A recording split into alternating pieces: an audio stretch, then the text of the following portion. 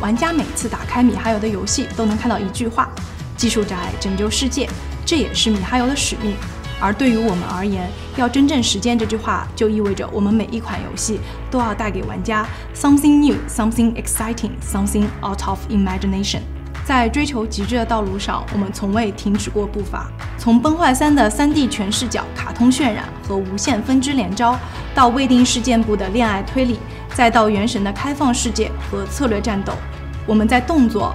文字冒险和角色扮演领域都进行了非常大胆的尝试。虽然说不同游戏类型的玩家也各不相同，但是我们非常高兴地看到这些玩家对于我们探索的高度认可，同时还涌现出了很多的二创作品，还有玩家的社群。我们官方社群现在已经有了超过两千万的粉丝，仅在 YouTube 平台上就有超过五百万的订阅。来自世界各地的玩家和我们一起在游戏的世界里冒险创造，而这种互动的氛围也是米哈游所珍惜的。二零一七年，《崩坏三》通过 Google Play 平台来到了全球玩家面前。现在想来，这也是米哈游登陆全球舞台的重要节点。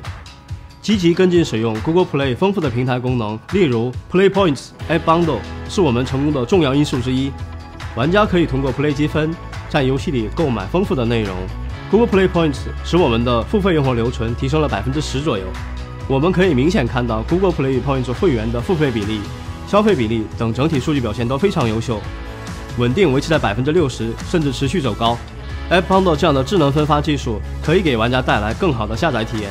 目前我们的游戏就在使用 Play Asset Delivery，配合游戏包体配置优化，整体的新注册用户可以提升百分之十到百分之十五。我们境外组有很多外籍员工，大家一起为游戏的本地化而努力。从画面、文案等基础内容，再到玩家喜好等细节的洞察。真正确保世界各地的玩家们都能沉浸到米哈游的游戏世界里。在进行游戏推广时，我们除了自己的渠道，也会使用 Google Play 的 Live Ops Card，让更多的玩家参与到游戏的活动中来。目前，《崩坏三》未定事件簿、《原神》均有在使用这个功能。我们通常会在每个游戏有新的活动或者新角色的节点配置并发布活动卡片，一来让既有的玩家及时了解这些内容更新，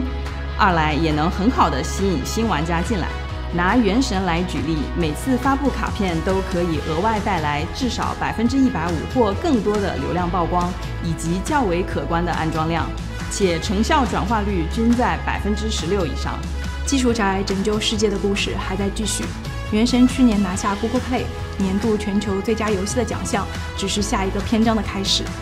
从2014年到2020年，